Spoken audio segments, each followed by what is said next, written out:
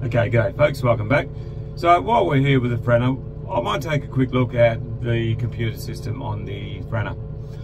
So if we spin this around, let's see. Here we have our computer. It's pretty simple and easy to operate. Okay, so it's got various bits of information on it. So up here on this first one, that tells us which chart we're going to be operating on. So at the moment we're on number one, which is your uh, main hook block. Now, if we press F6, okay, we can see our various duty cycles.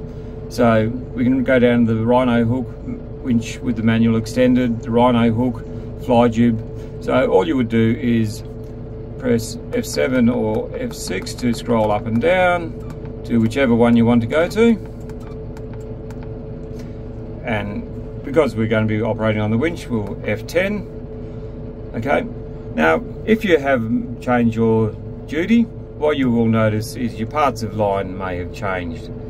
So we've got to be aware if we're going to be operating the 20 ton Franna it's got 4.2 ton line pull and we've got four parts of line in it. So what we need to do is change this one. So in order to change your parts of line if you press F1 say two parts three parts four parts and F10 for enter. Okay, that way that matches up with what we've got on the hook block. As we come down, we can see at the moment our front axle has 9.2 ton. Now as we pick up a heavier load, that's going to get heavier obviously. If we press F8 here, that will bring up our load charts that we're currently on and you can scroll up and down your load charts as you need to. Okay, so you can go across you go up and down. But, or F10 when you want to exit. But realistically, if we look down by the side here, we're going to have a hard copy of our load charts, which you'll find is going to be a lot easier to use than the ones on the computer.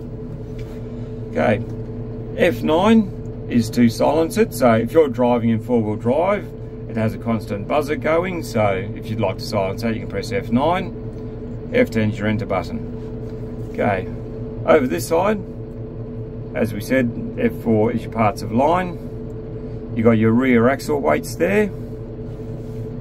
That's our turbo timer, so when we turn it off, our turbo timer is set for two minutes. Okay. Now, if we come down here to F5, all right, if we press F5, that's going to give us a whole heap of information on our drives and all the warning lights etc now if we have a code that comes up okay if we press engine all right we've got all got all our details for the engine here. If we have a code we can press F5 here where it's got SPI FMI press that and it'll run down through. You can look up to see what the actual code is showing. You can run down there to find that. Okay. Then we go back to F10 and exit. Exit again, and we come back to our working screen. Okay, now the details down the side here. Okay, so at the top here, if we had the fly jib on, that's where we put in the offset for the fly jib that's the length of the fly jib that we've got on. 600 kilos at the moment that we've got on the hook so that's including your hook blocks etc we are currently good for nine and a half ton where we're sit, sat. Okay the boom tip height is 2.7 meters. Not to be confused with the boom length which is 5.8 meters. Our current working radius so the distance from our hook block to our front axles is 3.7 meters and the boom angle is 3.3 degrees. Okay, so that's just a quick rundown on the computer for the Franna. Now, if you take it out of crane mode, you'll come up with the driving. So let's flip that over.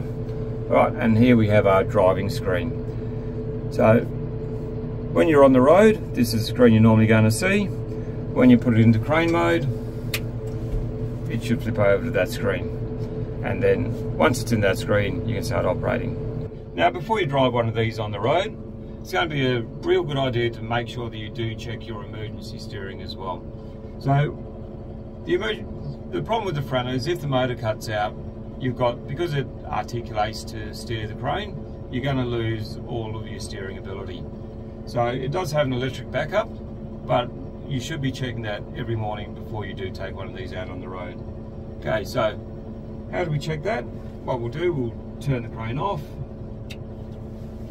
Okay, so to check the steering, we'll just turn the ignition on once. Okay, I'm going to let go of the park brake to allow me to turn. And with the ignition on, the electric override should turn. Okay, so that alarm is just warning you that the parking brake isn't on. Okay, so we can still turn the crane with the electric override as well. So if you're going to be driving these on the road, it is going to be a bloody good idea to make sure that's working correctly as well. Okay, let's put that handbrake on just to shut that back up. Okay, so thanks for your time and thanks for listening. If there's anything else you want to know, don't forget to drop us a line and don't forget to like and subscribe. Okay, thank you.